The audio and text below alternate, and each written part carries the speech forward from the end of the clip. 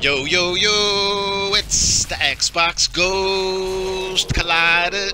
Man, I can't do the intro, yo. I can't, man. I'm honest, I can't, yo. I actually got home last night, and the first thing I wanted to do was sit down and watch the PlayStation press conference for 2017. And, you know, I had just seen the Microsoft press conference the day before, and they actually brought out 42 games. 22 of them were exclusives. They basically knocked it out the motherfucking park. So I sit down to watch Sony's press conference, and they started off with music. So I was like, okay, this was like last year, fine. Ain't nothing wrong with that. Then they showed off their first game, Uncharted: The Lost Legacy, the DLC. And I'm hoping they do find their lost legacy because the last good Uncharted game was Uncharted 2. All right, Uncharted 3 and 4 were both letdowns, and the fourth one in the, in the series was actually boring as hell, people. All right, and that's a fact. And then after that, they showed Horizon Zero Dawn DLC, also for sometime next year. And then after that, they showed Uncharted: The Days Gone to just add Zombies Edition. All right, because these games are actually very, very similar. All right, but then again, it seems like they're sharing the same engines.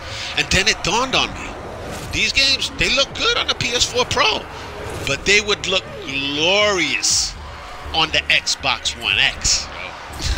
and that's a fucking fact one of the developers that's working on games on Ark Survival Evolved was being questioned by Jeff Keighley, And he actually confirmed that the Xbox One X is a fucking beast. The draw distances are phenomenal. And it's going to be running at 4K 60 frames per second, people. Alright? Alright, now, the trippiest thing, though, is that the John Layden came out on stage and said, We're here to celebrate the art of gameplay. That was the only part of their conference that I actually started laughing. All right, because he said the art of gameplay. You just finished showing me three games that were motion captured, and you're talking to me the art of gameplay. And a lot of the segments in those games that you showed me, especially in Uncharted and Days Gone, were on rail segments, and yet you told me the art of gameplay. As a matter of fact, the ID at Xbox games on the night before at the Microsoft conference, that was actually the art of gameplay. Games like The Last Night, Ori and the Will of the Wisps, Black Desert, Raiders of the Forgotten Planet, Unruly Heroes, Ashen. I mean, I'm just saying. All right? Now, Jeff Keighley, of course, felt like a dumbass, know what I'm saying? But it's all good. Now, once he finished the first segment, they went and they showed off Monster Hunter World, Marvel vs. Capcom Infinite, and Call of Duty World War II. All three of those games are going to be on the Xbox One, and they're going to look glorious on the Xbox One X. Now, once they finished that segment, they moved on to their VR, their PlayStation VR. And all those games that they showed looked like complete trash, yo. Those were subpar PS3 games graphically. All right, so I feel sorry for any dumbass that actually goes and out and buys one of those VR games. I would rather buy The Last Night, Ori, and The Blind Forest. I'm just saying, people. Now, once they finished with their corny VR segment, they moved on to God of War. All right, and God of War did all right. You know what I'm saying? the gameplay looked like it actually took a step back from last year. You know what I'm saying? Especially graphically, the game itself.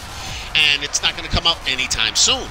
Now, once they finished with God of War, they showed the Uncharted movie. Or I'm, I'm sorry, I mean the game called Detroit. All right, so they showed off the game called Detroit, and all right, but that game is not going to come out anytime soon either. Now, after they showed Detroit, they went and they showed Destiny 2, which is also on the Xbox One X, and it's going to be in true 4K, people. Now, they capped off the show with Spider-Man, which texture-wise looked all right. It really looked all right for the PS4 Pro. It looks good, all right, for the PS4 Pro. And the gameplay was slow as fuck, people. I mean, that shit was horrendously slow, all right. But the thing kept going through my mind. This shit would look glorious on the Xbox One X, yo. You people understand what I'm trying to get at? All right, everything is gonna look glorious on the Xbox One X, yo. That PlayStation conference was fucking trash. And they pulled GT Sport from their conference because Forza Motorsport 7 came out the day before in glorious 4K running at 60 frames per second with 700 motherfucking cars, people. Either way, that's my $2 worth. For everybody else, there it is. Clear as motherfucking day.